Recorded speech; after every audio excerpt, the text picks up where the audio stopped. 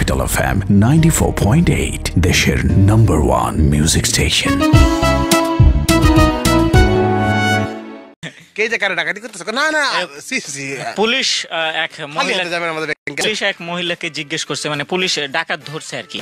মহিলা ডাকাত ধরে দিছে তো পুলিশ ওই মহিলাকে জিজ্ঞেস করছে আমরা এত বছর ধরে এই রঘু ডাকাতকে খুঁজতেছি ওকে কোনোভাবেই খুঁজে পাইতেছিলাম না।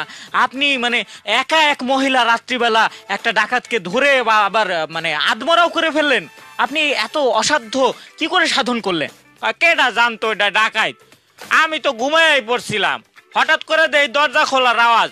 আমি মনে করছি তাহলে মনে হয় আমার হাজবেন্ড রাইতে দেরি করে ফিরছে। পিঠে আদমরা করে লাইছি। ডাকাইত যে বুঝতেই পারি নাই।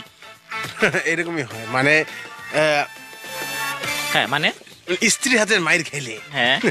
যে কেউ আধ ভরা হয়ে যায়। জামাই হলে তো আগে মেরে দিত। আচ্ছা। বুঝলেন না? যমুনা মরে দিতেছি আমি। কথা বলবেন না আপনি মরবেন কেন?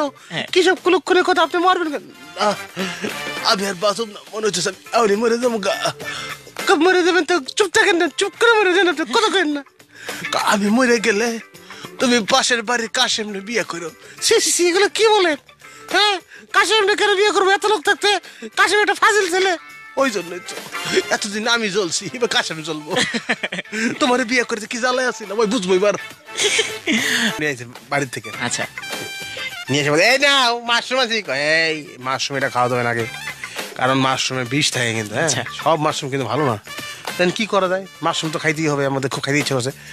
ইয়ে বাসা কুত্তাটা আছে না? কুত্তাটা খাওয়া যায় দেখি যে কুত্তা বাচ্চা গেছে তারপর রান্না করে রান্না আচ্ছা। কয় হ্যাঁ ভালো বুদ্ধি। কুত্তাটা দিলে মাশরুম খাওয়াইছে। আধা ঘণ্টা পর ঘরের পোলাইছে।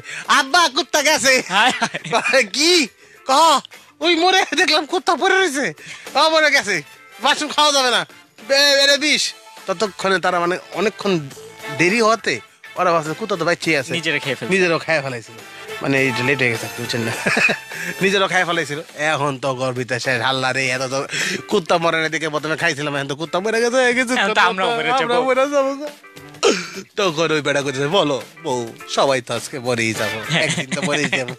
সেটা আজকেই আজকেই তো মরে আজকেই আজকে তো মরেই যাব। তো তুমি সত্যি কথা বলো।